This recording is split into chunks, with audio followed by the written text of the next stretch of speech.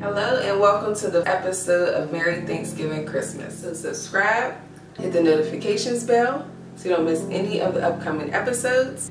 Make sure you check out my holidays playlist so you can get more recipes for the holidays. Alright guys, so I have about two pounds of collard greens that I didn't wash yet. Alright, so I like to add in a whole onion, so I'm going to do that by cutting this in slices.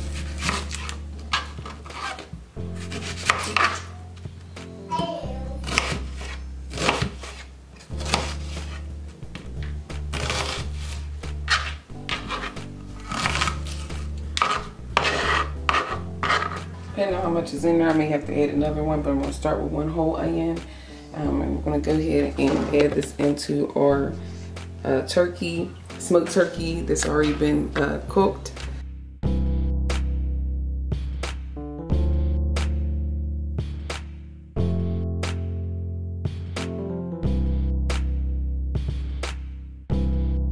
All right, so this is the smoked turkey that we cooked in a crock pot. I removed the bones and the extra skin. So now I'm going to add in the onion.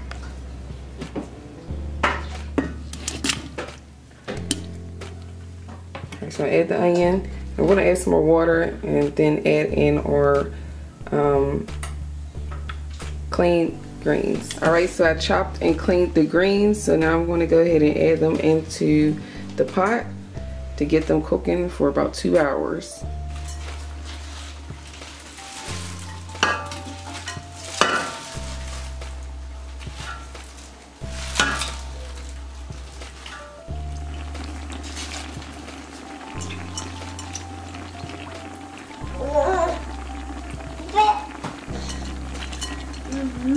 Thank you, Callie.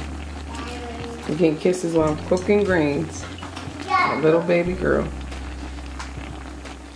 Alright, so I'm going to add a little bit more water in here. Chicken bouillon cube. And then I'm going to cover for about two hours. I'm just going to check on to see how they, um, or after two hours. And then that's it. I'm adding in two cups of water.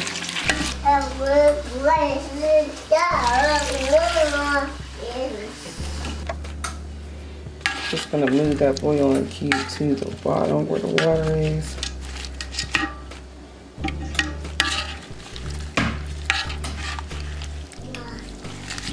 And I'm gonna just add a little bit of, like probably like a half a teaspoon of oil, just so I can prevent them from sticking, even though this isn't a non-stick pot.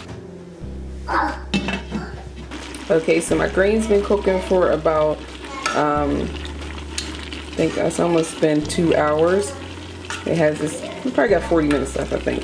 So I'm gonna, I'm mixing them up and I'm gonna taste this um, broth at the bottom to see if what I need to add into it far as seasoning. And then I'll let it cook the rest of the way with the seasoning in it. Just gonna add an onion powder and seasoning salt. And that's it because I've already added bouillon cube in here.